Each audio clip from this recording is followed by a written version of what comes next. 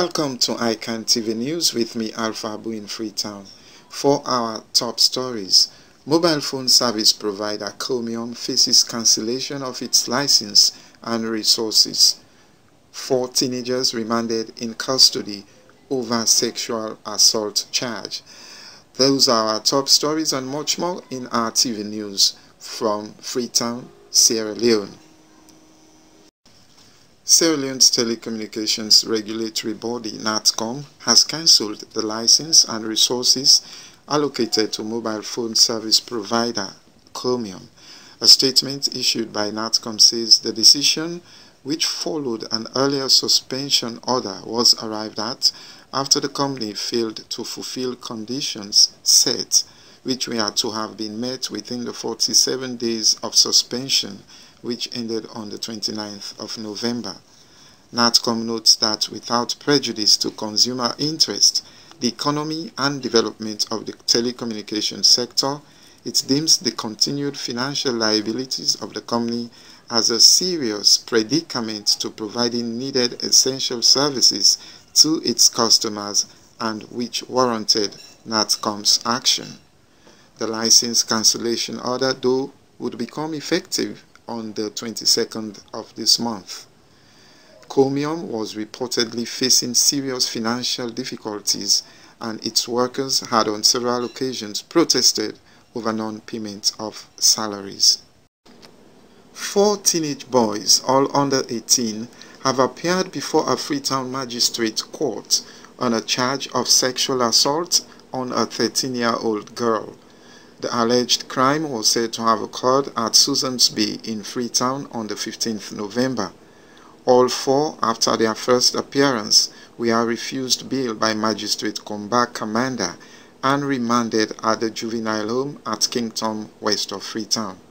Their next court appearance is on Friday next week. 100 Nigerian health workers have arrived in Sierra Leone to assist the country tackle the Ebola epidemic. A senior official at the Nigerian High Commission in Freetown was quoted in a local newspaper disclosing that the team included 30 clinical doctors, 5 pediatricians, 15 general practitioners, and nurses. The contingent is part of the African Union efforts in the fight against Ebola. Nigeria donated $3.5 million to the three affected countries of Liberia, Guinea, and Sierra Leone. Meanwhile, the Sierra Leone Parliament has ratified a $99 million grant agreement between the government and the International Development Association to fund the Ebola Emergency Response Project. The advisor to the Koinadugu District Ebola Task Force, Momo Conte, says houses close to the border with Guinea that records cases of Ebola will be burnt as a means of stopping the spread of the disease. Mr. Conte issued the warning during meetings in various parts of the district attended by local people and representatives of the World Health Organization the United Nations Crisis Management Team and other local groups involved in the battle against the disease. Koinadugu was for four months the only of Sierra Leone's 14 districts not to have recorded a case of Ebola. It has since recorded some 86 cases. And for our iCan TV social news, a well-known Sierra Leonean woman living in London, England, Patricia Kabase, has organized a birthday party for her daughter Regisha Kabo, who turned 18. It was quite a sumptuous and glittering affair, befitting a girl turned woman. The party was well attended by people of different nationalities, including Sierra Leoneans. There were the usual speeches, sharing of gifts, photo poses, and of course, cutting of the cake. The chief celebrant's mother, Patricia Kabase, comes from a distinguished family in the Kono district. She is the daughter of well-known late paramount chief Kabase.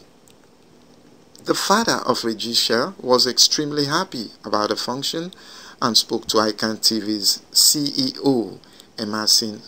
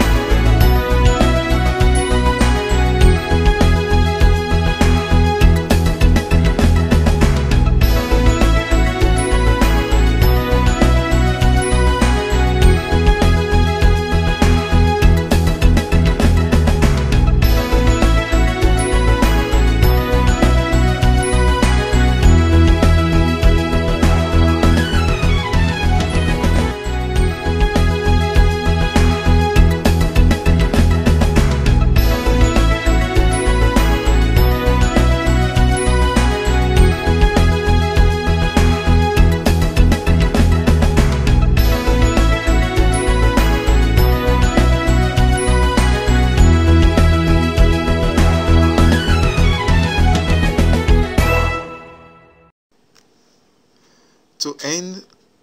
iCan TV News, a recap of our top stories. Sierra Leone's Information, Communication and Technology Regulatory Body, NATCOM, has cancelled the license of mobile phone service provider Comium.